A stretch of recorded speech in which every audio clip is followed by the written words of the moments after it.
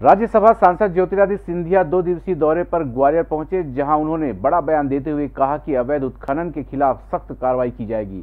मुख्यमंत्री बदलने को लेकर उन्होंने कहा कि शिवराज सिंह अच्छा कार्य कर रहे हैं। वे ही मध्य प्रदेश के मुखिया रहेंगे।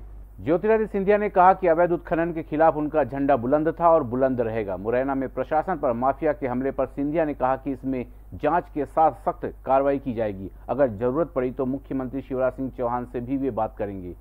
इस दौरान सिंधिया ने तीसरी वेब के खतरे से निपटने के लिए लोगों और राजनीतिक दलों से एक साथ मिलकर लड़ने की अपील की।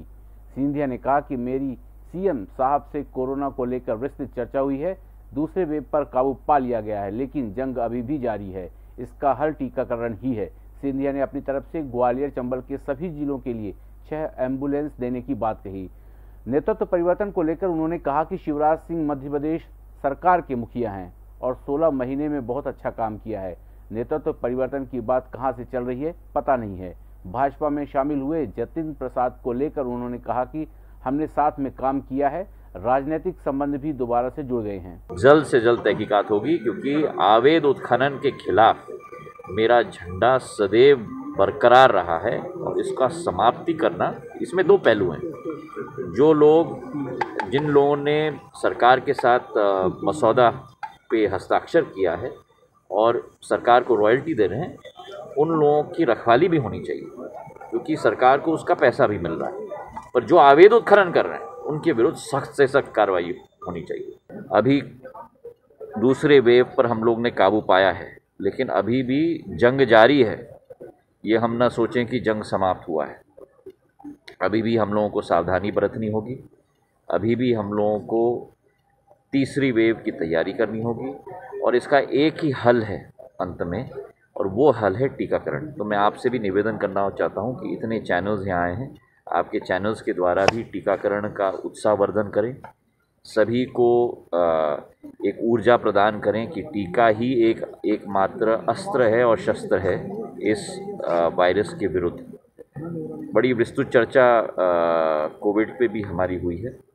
और कल का कार्यक्रम भी है, जहाँ पाँच या छः एंबुलेंस मैं अपने तरफ़ से भी दे रहा हूँ। मध्य प्रदेश सरकार के मुखिया शिवराज सिंह चौहान जी हैं।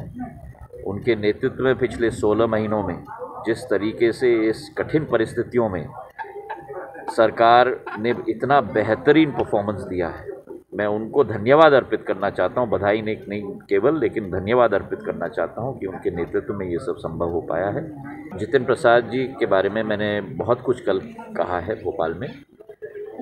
मेरे साथ, मेरे सहयोगी के रूप में, मेरे सहयोगी मंत्री के रूप में, मेरे छोटे भाई के रूप में हम दोनों ने साथ में काम किया है। उनका मैंने स्वागत कल किया। मुझे बड़ी खुशी हुई।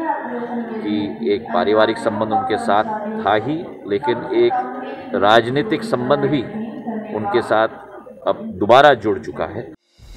संगीत की स्वर लहरियों से सांस्कृतिक ताने बाने तक चंबल के पीड़ों से नक्सलवादियों के गढ़ तक झोपड़ी से महलों तक ठेलों से मेलों तक पगडंडियों से सड़कों तक गाँव से शहरों तक व्यापार से उद्योगों तक राजनीति से कूटनीति तक। दखल न्यूज़। आपके हक में